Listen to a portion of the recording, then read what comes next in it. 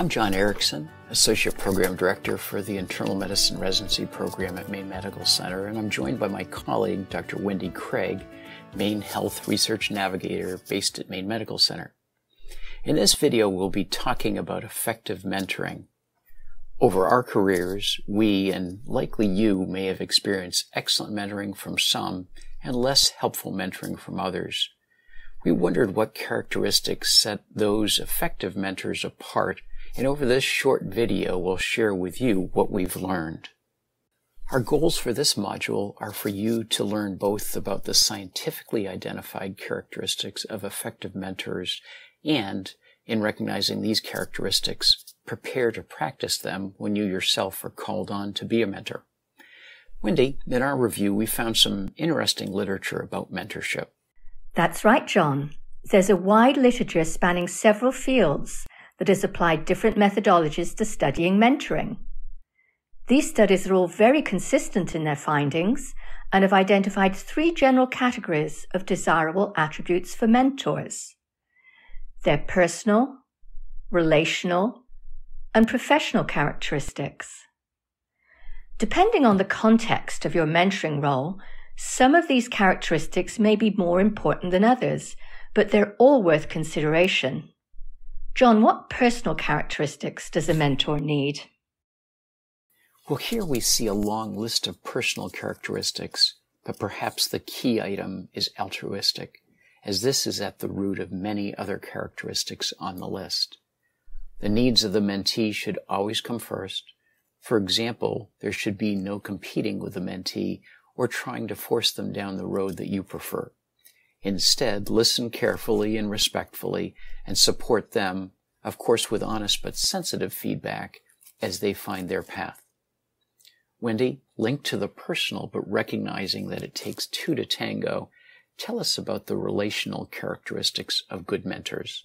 Here we see the relational characteristics of effective mentors. This list really flows from and operationalizes the personal characteristics that you just discussed. Accountability and commitment are key. You have to make time available to your mentee, respond to their questions and emails, and honor the meeting schedule that you and your mentee have set together. Another important point addresses mentor mentee fit.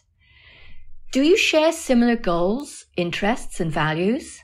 It's best to figure this one out before you commit to a mentoring role. Both personal and relational characteristics are the bedrock of any mentoring relationship.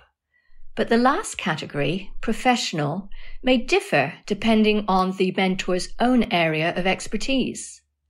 For example, my role is in research and yours is in medical education. So, John, did you want to expand on that? This is perhaps the most mutable of the three categories of characteristics because much will depend on the specific role you have with your mentee and the world in which you live. You may be a mentor sharing in a research project, part of a mentoring team, or perhaps involved in a project for medical innovation.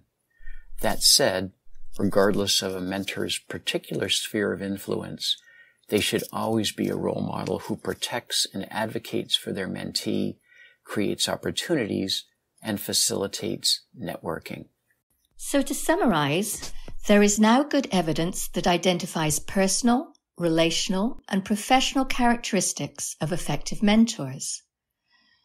For example, altruism is an important personal characteristic, and relational characteristics include good communication skills and commitment to your mentee. Lastly, Professional characteristics may vary depending on your area of expertise, but they always involve protecting and advocating for your mentee. We hope that this brief overview has provided some insight into these attributes so that you'll be able to apply them to your own mentoring experience. If you are looking for more information about how to be an effective mentor, please review other sections of this module to find some relevant articles and also links to helpful online resources.